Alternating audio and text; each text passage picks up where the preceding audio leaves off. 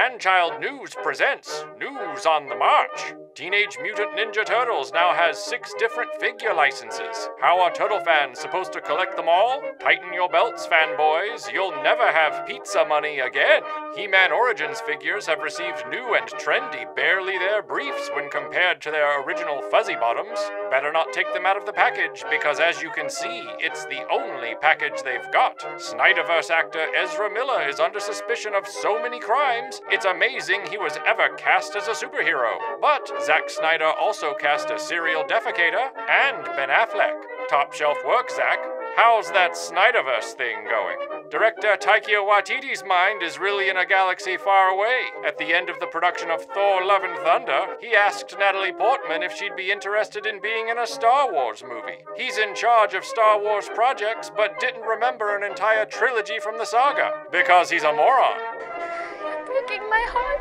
The Obi Wan Kenobi Disney Plus series, a six hour long continuity wrecking slog starring Ewan McGregor, had four hours cut out of it by an enterprising Star Wars fan in an attempt to save it. The Patterson cut is far more watchable, but at the end of the day, trying to fix this story with further edits is like trying to stop the destruction of Pompeii by ringing the city in cling film. Obi Wan's premium merchandise was dead on arrival as well. Hasbro's Reva FX lightsaber totally failed to achieve its funding goals. This is the second Star Wars HasLab project to fail after the Rancor, and the funding result was a paltry 3.38% of the goal they'd set. So much for that silent majority of Disney Star Wars fans.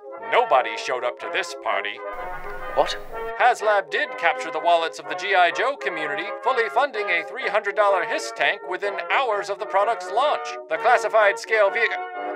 Is that. Is that the correct footage for this clip? It is? Um. Okay then. The former BBC controller, Michael Grade, gave an interview on the latest Doctor Who Blu ray collection in which he explained his reasons for canceling the series in the 1980s. He still comes off like a total knob. What's that got to do with my knob? And finally, Kylie Minogue and Jason Donovan have returned to Ramsay Street after more than 30 years for the production of the final episode of the long running Australian soap opera Neighbours. The curtain is coming down, but not before Charlene and Scott make their final bows, especially for you. This has been Manchild News for July 2022.